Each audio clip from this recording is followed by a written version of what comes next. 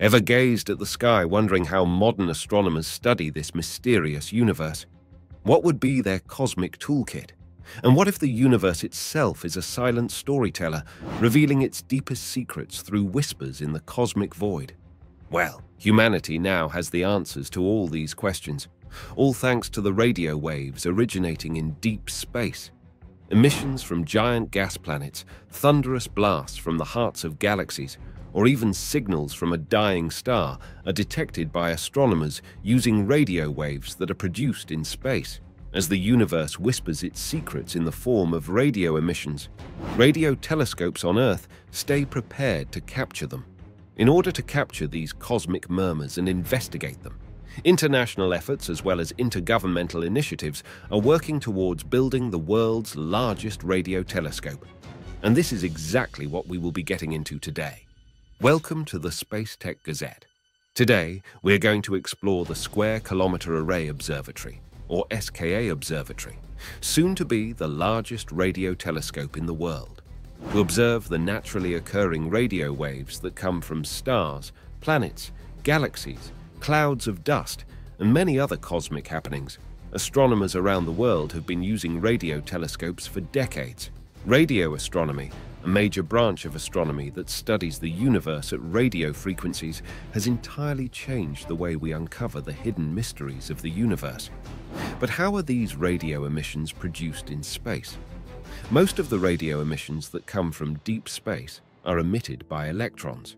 These electrons move through the magnetic fields of celestial objects, and every time the magnetic fields change, radio waves are produced. And if you're wondering what a radio wave is, we will tell you all about it. A radio wave is a form of electromagnetic radiation. They're just like the visible light you see with your eyes, but the difference lies in the fact that radio waves have longer wavelengths and lower frequencies than that of visible light. The visible light is powerful enough to help plants perform photosynthesis.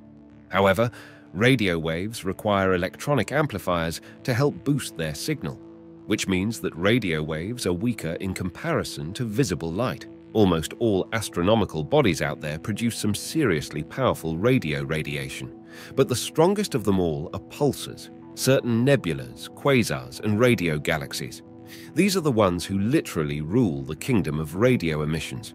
Now let's come back to Earth and give our attention to those who not just collect, but amplify and store these radio emissions, the radio telescopes.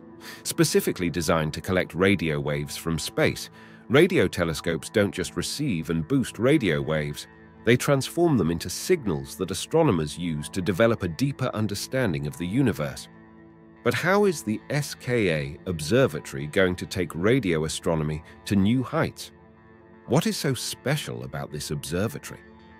The Square Kilometre Array organization is working on creating the next generation of the world's largest radio telescopes.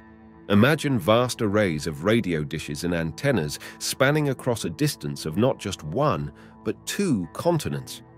Yes, you heard that right. These continents are South Africa and Australia. That's like a telescope garden stretching across thousands of miles. How incredible is that?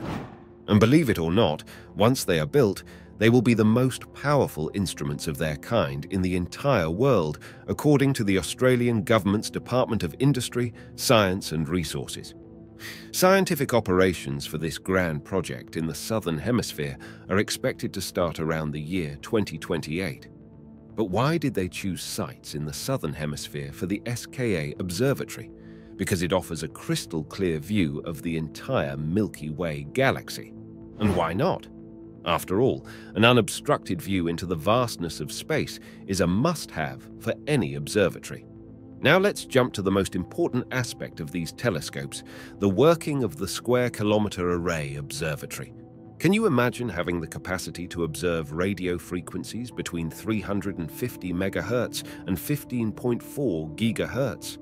That's definitely not a human's cup of tea, but for SKA, it's no big deal.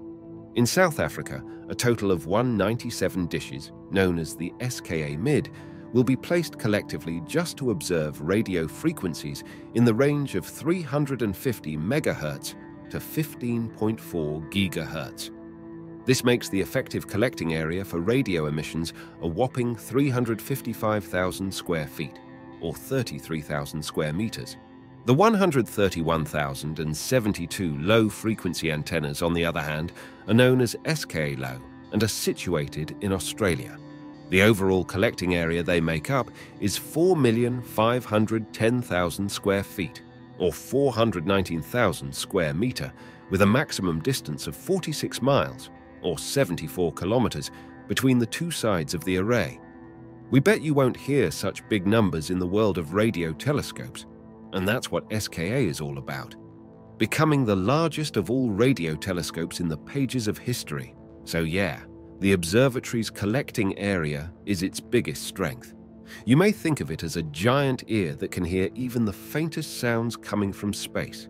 So the bigger the ear, the more efficient it is in catching those quiet cosmic whispers. But it's not just the collecting area that makes all the difference. The distance between the two sides of the array, known as the baseline, decides the resolving power.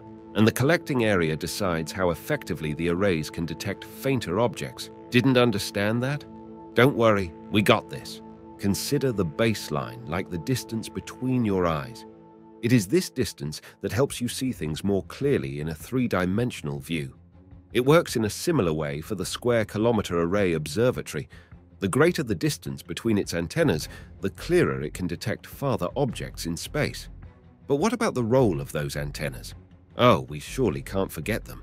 The antennas of SKA Low in Australia look very much like trees but with a metallic structure. These metallic trees will be equipped with horizontal branches of different lengths, known as dipoles. Dipoles are elements used for transmitting or receiving radio frequency energy. Being shorter at the top and wider at the bottom, each one of these dipoles will absorb radio waves coming from deep space. The longer the dipole, the longer the wavelength it can absorb. The SKA mid and SKA low will work together as a team of two players to make SKA a grand success. Using a technique called aperture synthesis, they will be connected to the same receiver and therefore will act as one. It's like a bunch of puzzle pieces fitting together to create a larger, clearer picture. With the help of optical fibers ranging a thousand miles, all the individual dishes and antennas will be linked together. Using smart software, the data from each telescope will be collected and integrated perfectly despite their different locations. As a result, each array will work like a huge super-powered telescope. And that would make SKA Observatory a group of super telescopes that work together to become the ultimate space detective squad. Thus, the name SKA, or Square Kilometre Array, refers to the integration of all antennas and dishes to create a highly effective collecting area of one square kilometre. Wow, that was a lot of technology. The Square Kilometre Array Observatory is going to be a marvel of modern science and technology, one that will reveal the best-kept secrets of the universe. Are you ready to step into the age of the SKA Observatory? Do let us know in the comments section below. That concludes our cosmic journey with the world's largest radio telescope right here on the Space Tech Gazette. If this journey ignited your curiosity, remember to like, subscribe, and ring that notification bell.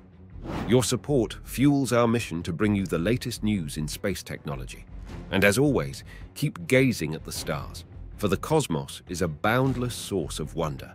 If you want to know more about some of the most amazing space technologies out there, you can watch one of these videos next. Until our next cosmic rendezvous, stay tuned and keep exploring with the Space Tech Gazette.